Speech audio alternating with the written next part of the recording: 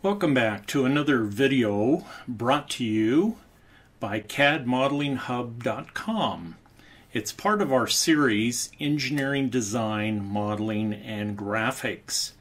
This video, entitled What Are Precise Dimensions, will discuss and cover the topics of learning the meaning of precision as it relates to length measurements and learning how uh, precise dimensions are applied to location and size dimensions on an engineering drawing. Many of us have heard um, such things as first and 10 or a 100 meter dash or a 2 by 4 or a 4 by 4 Some of us may have even heard of angstroms as they relate to visible light. All of these are different length measurement scales. We have yards, we have meters, we have inches, we have millimeters, and we have angstroms. In this particular video, we talk about precision as it relates to length measurements. For example, on a football field, rarely do you hear that they have a half an inch to go for a first down. You may hear the commentator say there's inches before a first down, or there is a yard before the first down, but you don't generally hear them say, oh, they have a yard and two inches to go for a first down. So we want to take a few minutes and talk about different length measurements for different engineering groups.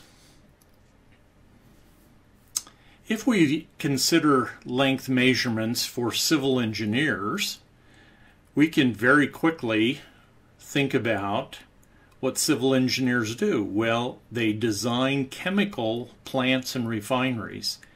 And it's not uncommon to have a refinery uh, that can cover many square miles. For example, there are some refineries that cover 11 square miles or approximately 30 million square meters.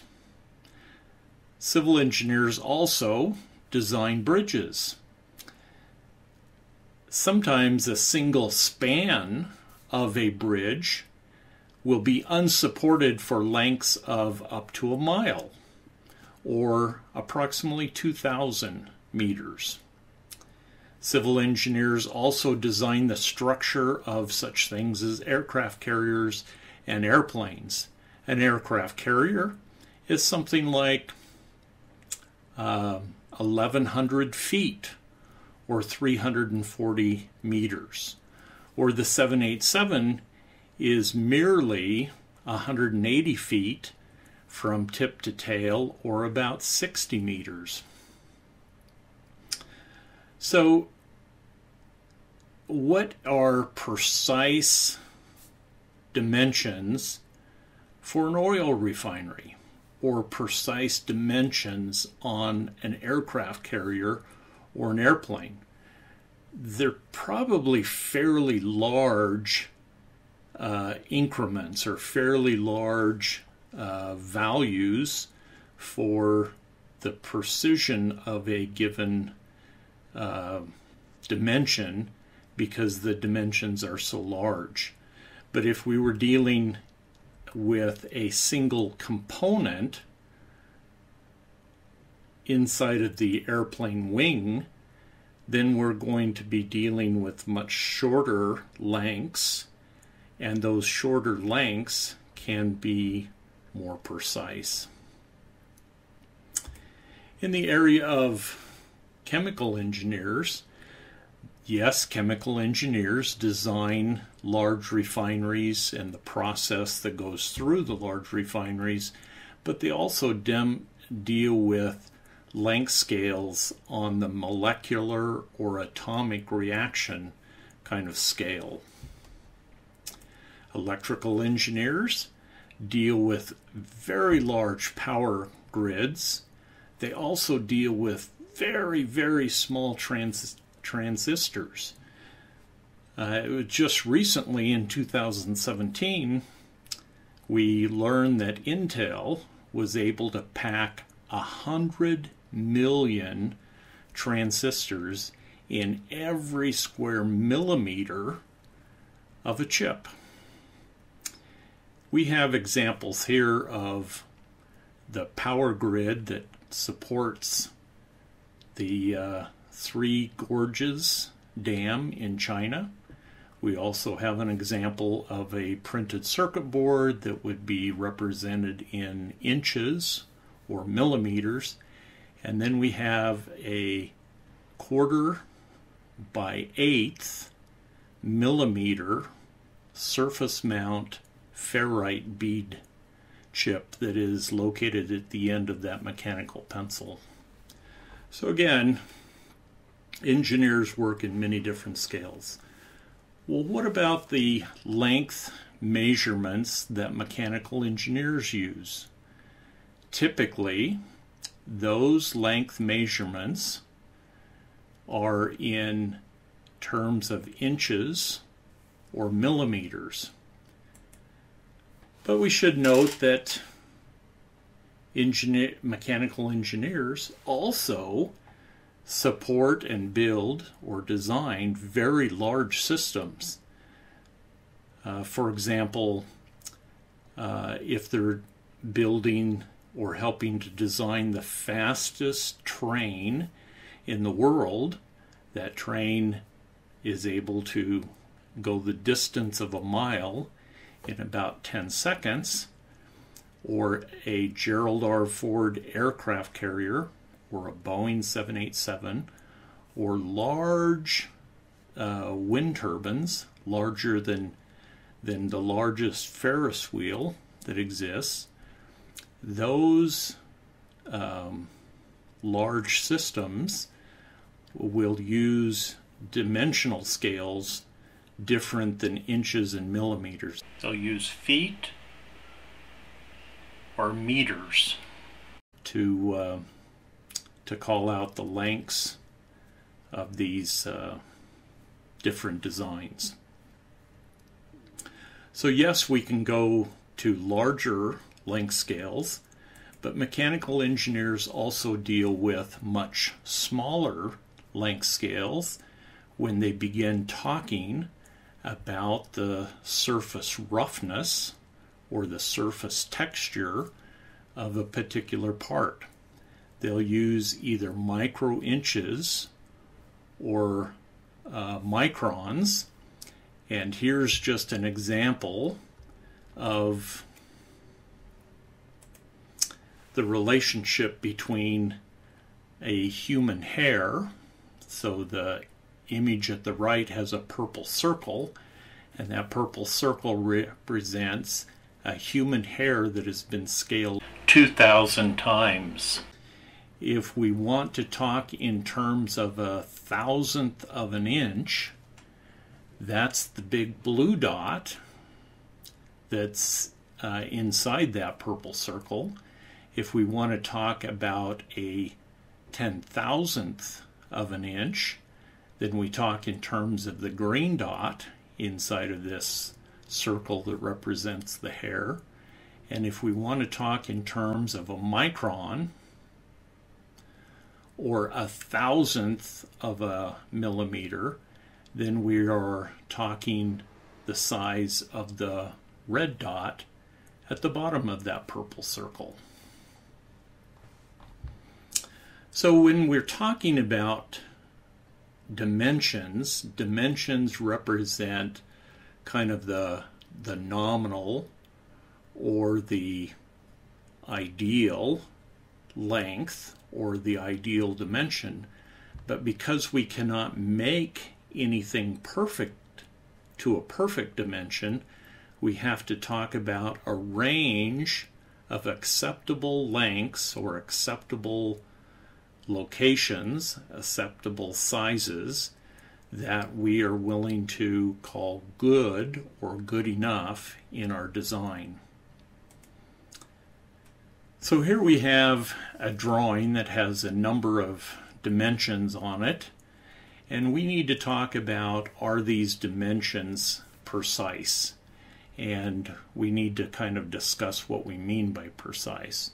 So let's look first at the two decimal place dimensions and ask the question are these dimensions precise? When we speak of precise, we're asking how close is close enough to say the one inch dimension. Well, that one inch dimension, according to our design, has to be made within a tolerance or a precision of plus or minus three hundredths of an inch. So we can make that one inch dimension either as a 0.97 or anything up to 1.03. So anything in that range we would call good. If we look for a moment at the 1.25 dimension, that dimension has to be made within a range of 1.22 or up to a measurement of 1.228. And anything in that range would be considered a precise dimension as long as it falls within that range. What about the angular dimension? It shows here as 135 degrees. Is that dimension precise? Well, again, we have to look at the tolerance band to find out how tight of a um, or how precise of a dimension that 135 degrees is. And in this case, it's plus or minus 2 degrees, which, when you think about it, uh, 2 degrees, in this case, a total of 4 degrees, um, is probably not very precise, but for an angle, it's not too bad. So this angle could be made as small as 133 degrees or as large as 137 degrees. Here we have, happen to have a limit style dimension and it is precise within a tolerance band of 10 thousandths of an inch or a hundredth of an inch. And so this tolerance is much tighter than any of the two place dimensions. And so it is a much more precise and therefore a much more costly dimension to actually manufacture. Here we have a bilateral, bilateral tolerance. The bilateral tolerance says that this number has to be made uh, plus or minus five thousandths of an inch. And so again, it has a tighter tolerance than two place dimensions have.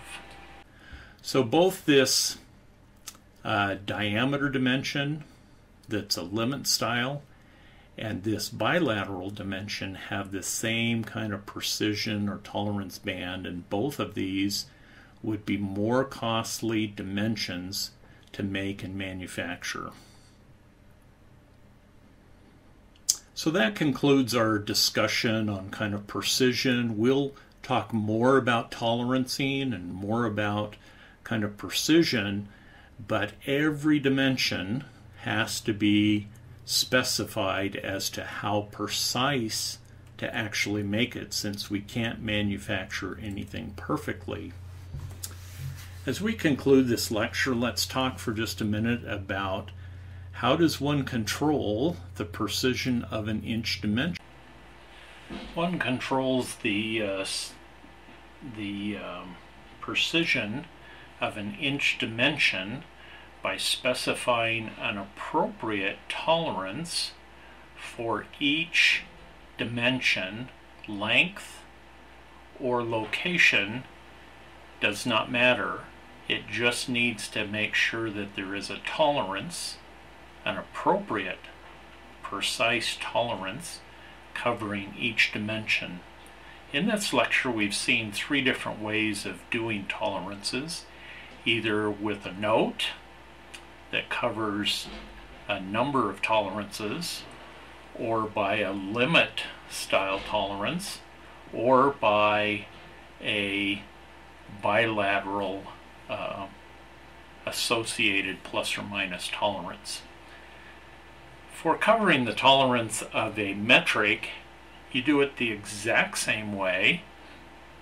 You specify a note with a metric tolerance or a limit wherein you've specified two metric values or you do it with a bilateral plus or minus metric value.